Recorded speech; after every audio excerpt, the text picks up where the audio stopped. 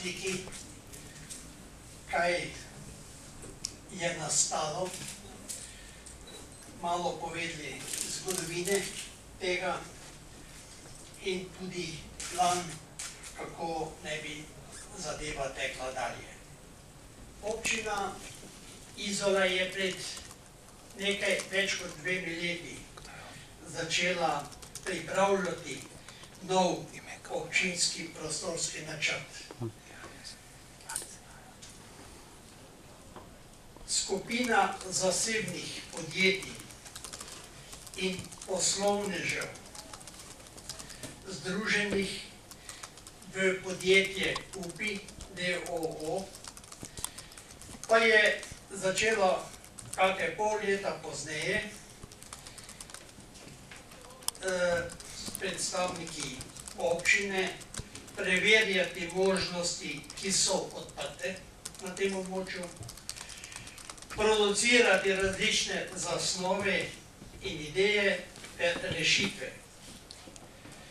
Pri tem se je izkazalo, da so na razpolago na tem območju ogromne možnosti, ki jih je mogoče pripraviti. Navedel bom po naši oceni najvažnejše.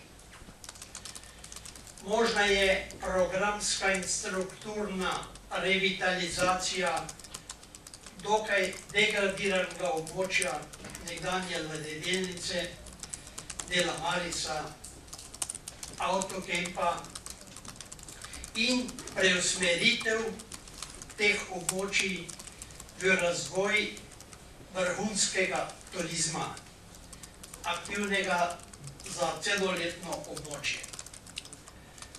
Dalje, možen je razvoj in dopolnitev klasičnega obmorskega turizma,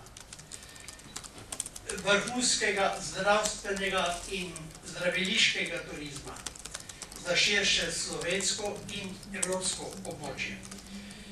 Možna je dopolnitev navtičnega in športno-rekreacijskega turizma, obogatitev kulturnega, zgodovinskega in razstavnega turizma, razvoj tudi zabaviščnega turizma.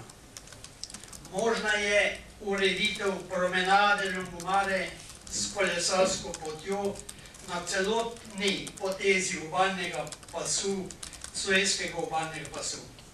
Metrov športnih površin z igrišči za občane in obiskovalce, javnih zelenih površin in drugega.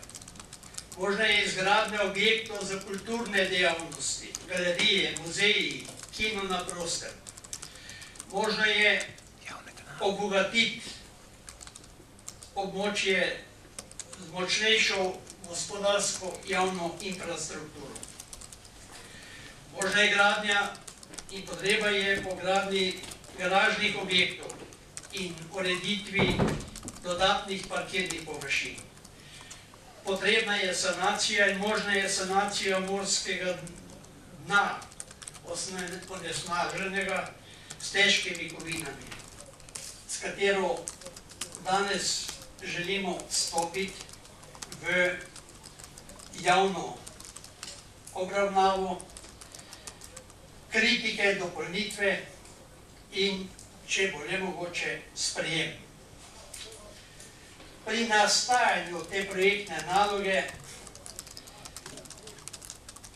je doslej sodelovalo preko osemdeset ljudi, kvalificiranih pretežno, ki so preko, nekateri preko celega pol drugoletnega obdobja, nekateri pa zadnja leta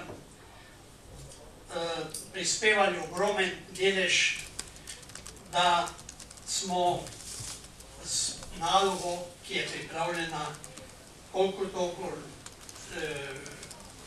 poziciji, da si jo dovolimo